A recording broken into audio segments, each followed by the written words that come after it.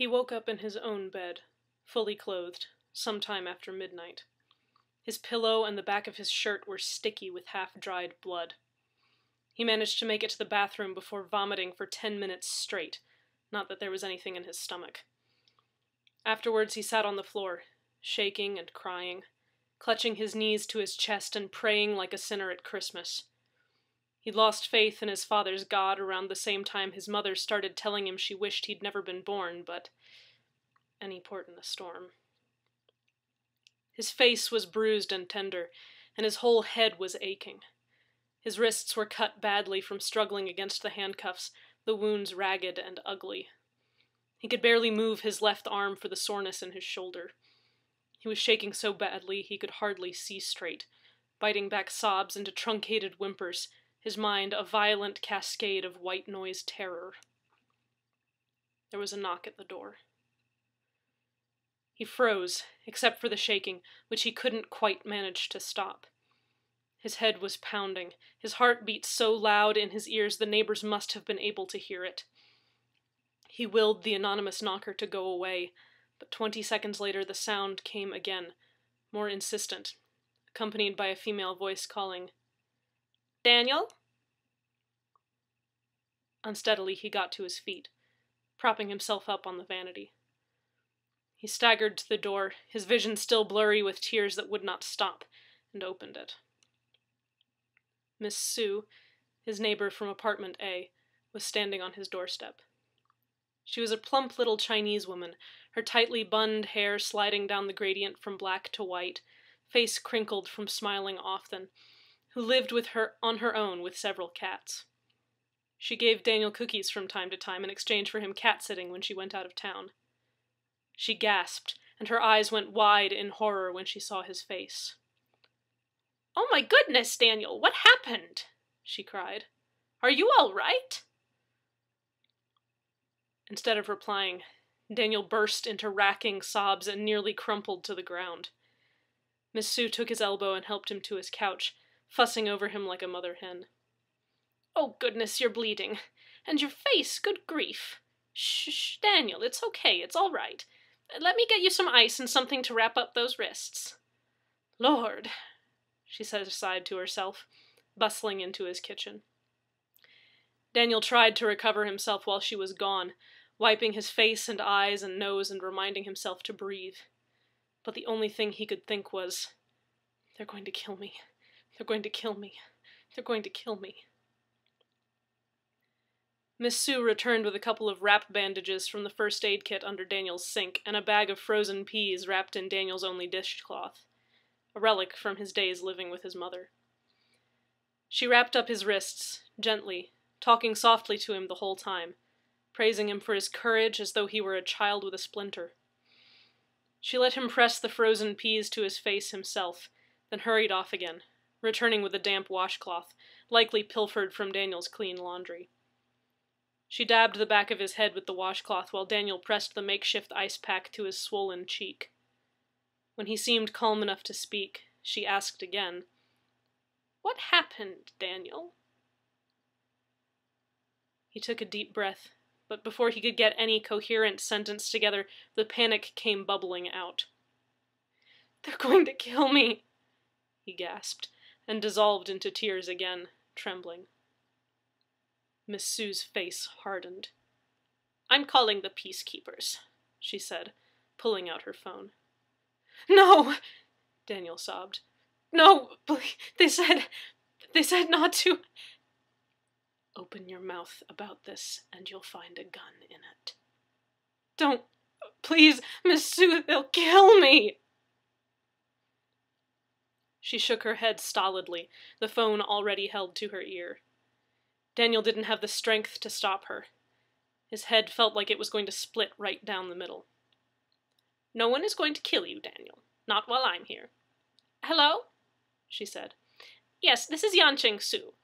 I'm down on Cherry Street, apartment 2012B. My neighbor, Daniel Rodriguez, has been assaulted. He says they threatened to kill him if he told anyone. Uh, how long?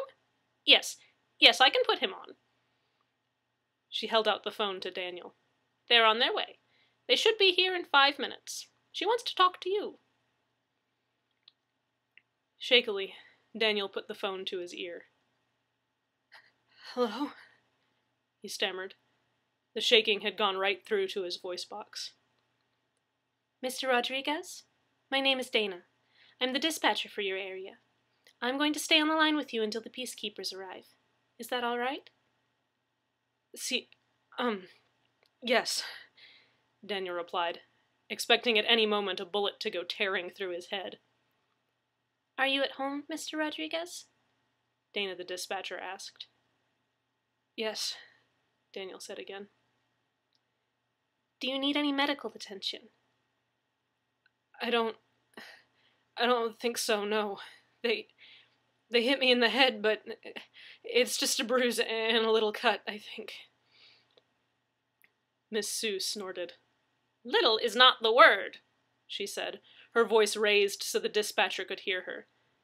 The whole back of his head is covered in blood, and something happened to his wrists, too, like handcuffs or something. Very ugly wounds. Daniel swallowed, trying not to think about it.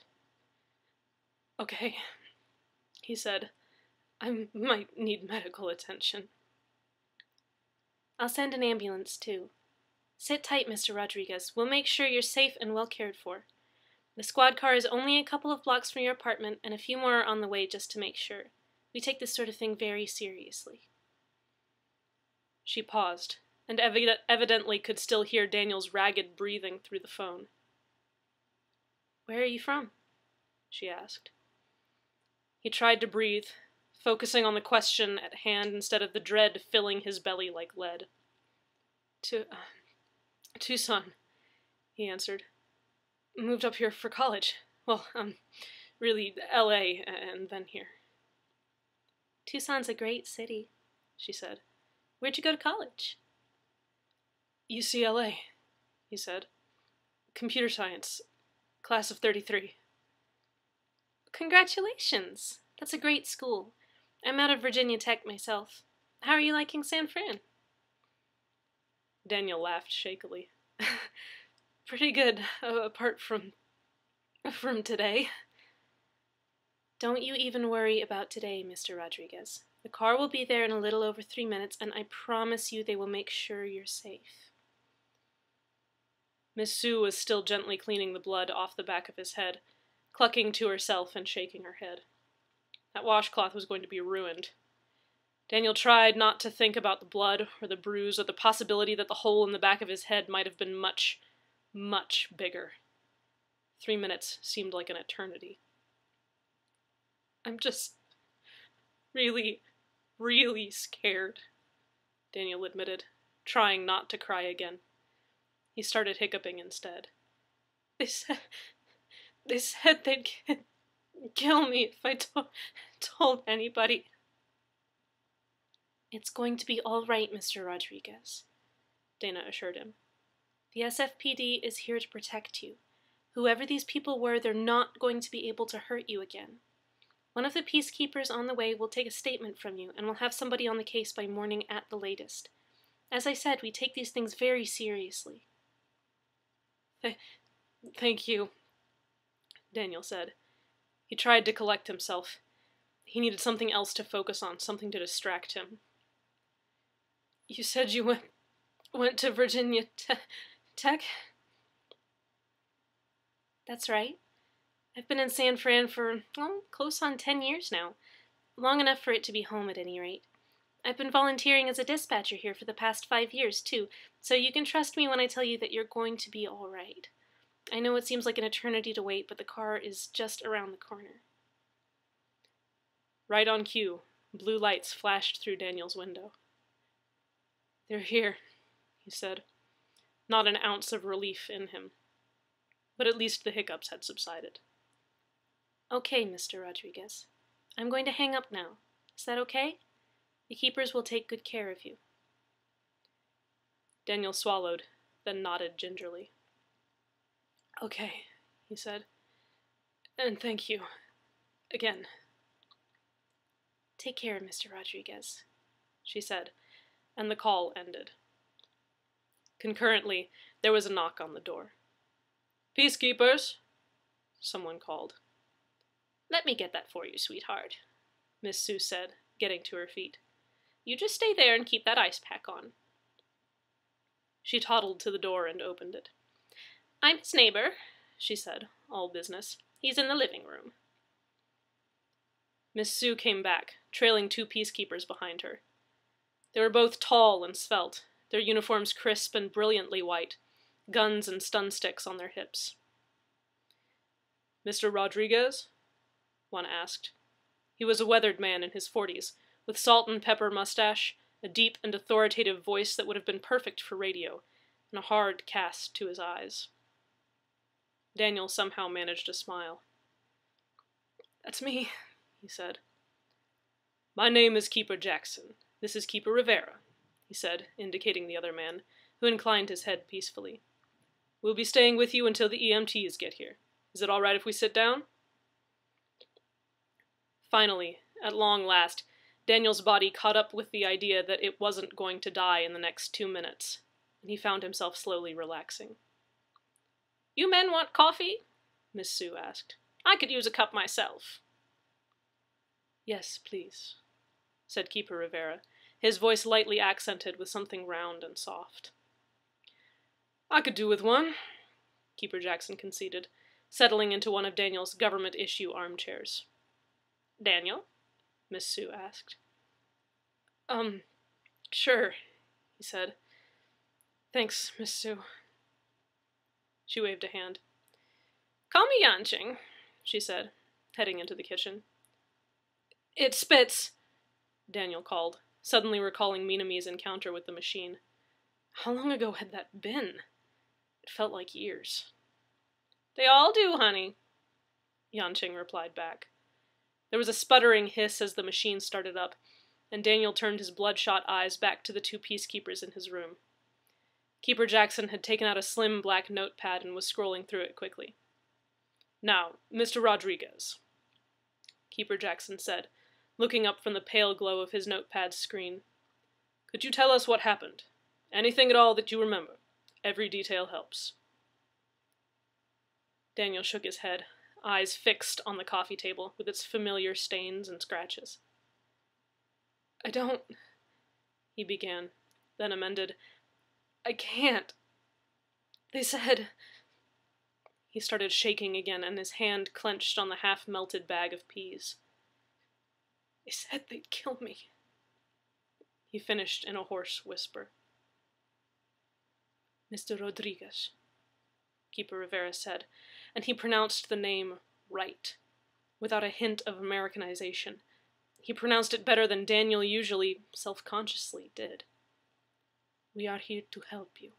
We are here to make sure that these men cannot hurt you again. We cannot do that if you don't tell us what happened. Daniel looked up at him. He was leaning forward in his chair, soft eyes intent on Daniel. How old was he? Twenty-six, twenty-seven? He had freckles and kept his black hair cut close to the scalp. He smiled, just a touch and said earnestly, Podemos ayudarte. And suddenly the whole story was spilling out of Daniel in all its terrifying, emasculating detail, right down to the very words he'd spouted for the man with the gun. It was only when he stopped talking that he realized he'd made the entire speech in Spanish.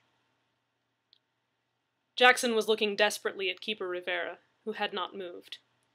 There was a quiet beep as Rivera touched a finger to his right ear.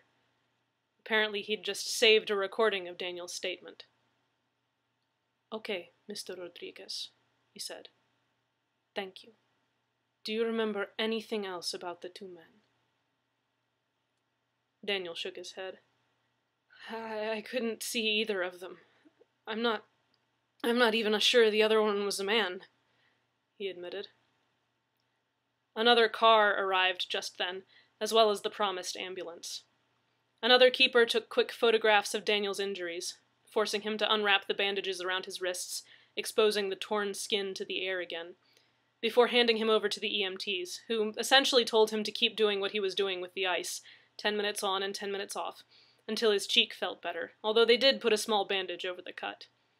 They checked him for concussion, shining lights in his eyes, checking his pulse, asking about the date and if he knew where he was. They cleaned, disinfected, and sprayed some instant bandage on the back of Daniel's head, which only served to make it stickier and itchier, and warned him not to scratch it or even wash it for the next two hours at least. They took a blood sample in the hopes of figuring out what sort of tranquilizer had been used on him. They rebandaged his wrists after giving him a mild anesthetic and carefully cutting off the tattered skin at the edges of the wounds, which was disconcerting but admittedly did make them look less awful. When they had gone, Miss Su brought the coffee in and settled herself on the couch next to Daniel, gently rubbing his back with one hand. It wasn't exactly comforting, since it pressed his blood caked shirt against his back, but it was better than sitting all alone, cold and shaking, barely able to hold his coffee without spilling it. Although his tongue felt leaden and he wanted nothing more than to curl up in a ball and sleep until winter, he asked the keepers, How long will you be staying? As long as you'd like us to, Keeper Jackson replied in his radio voice. There'll be another patrol car with two keepers in it circling the block all night. Rivera and I don't have anywhere else to be tonight, do we, Miguel? Keeper Rivera shook his head. We're at your disposal, Mr. Rodriguez. I work from home, Miss Su told Daniel. I can stay as long as you want, or you can kick me out too. I just have to go feed the cats in the morning. Daniel set down his coffee and put his face in his hands. I just don't want to think about it anymore, he said. He sighed, then looked up at the keepers as a thought occurred to him his eyebrows lifted in a wry question. Any of you ever played Tower Assault?